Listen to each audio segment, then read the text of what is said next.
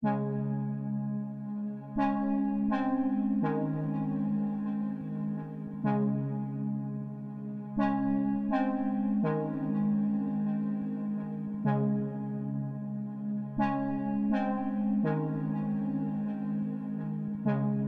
guys, so as I explained in my previous video, things are going to be a little bit different.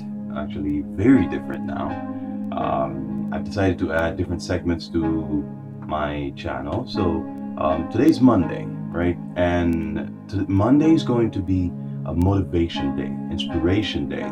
Um, it's the day where you guys get up and get ready to go to work, and a lot of people are stressing out over um, their week you know, a lot of people, like they say, 80% of um, heart attacks happen on Monday morning, whether it's Monday morning on the way to work or out of getting out of the bed because we're all stressed out by work.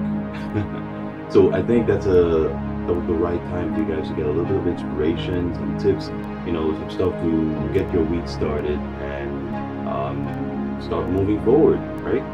Um, today I just want to talk to you guys about um, a way to get away or, or rather let go of the past or past situations in order to move forward because oftentimes it's very hard uh, to let go of bad experiences or um, things that people have done to us. It's really hard for us to actually do that.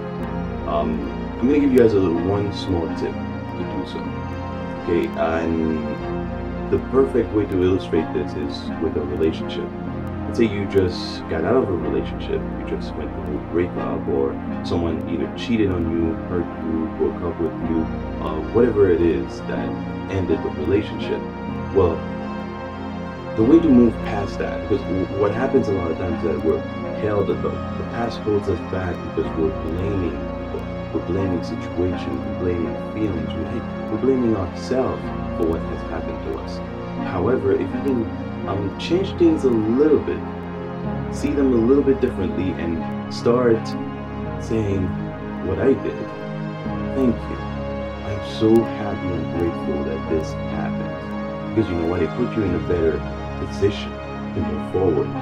Now, it's not all about saying thank you. You have to actually get something out of it. So, first step is to say thank you, be grateful that this happened because Thanks to that particular situation or person, you are now in a better position in your life.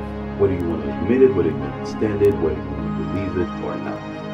Now, once you're able to, to start saying thank you and letting go of resentment, which is something you have to work on because once you do so, that is what's going to help you move forward.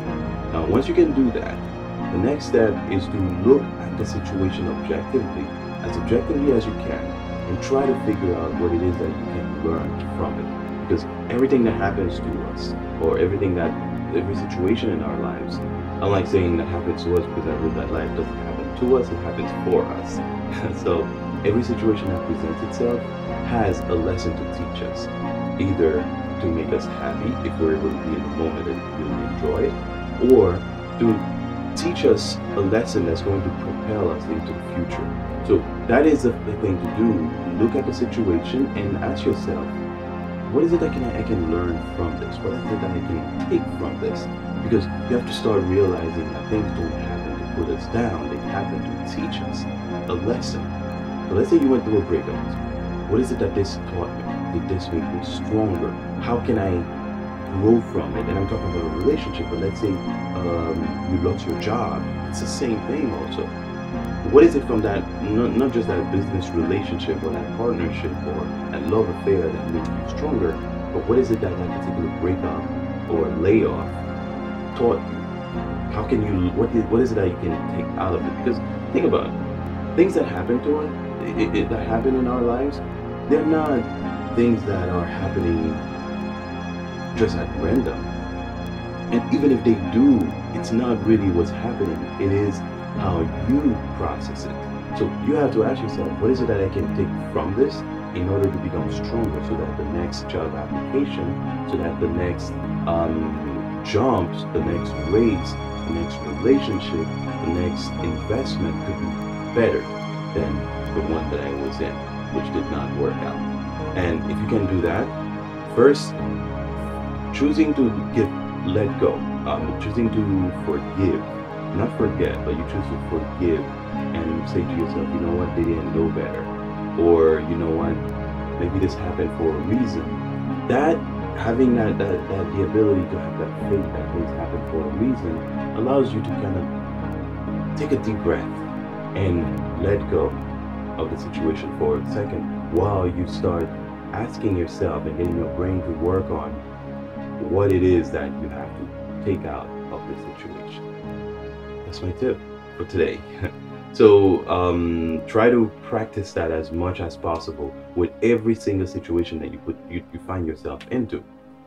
A relationship, a job, a business partnership, uh, a, a marathon, whatever it is, there's always something to be learned.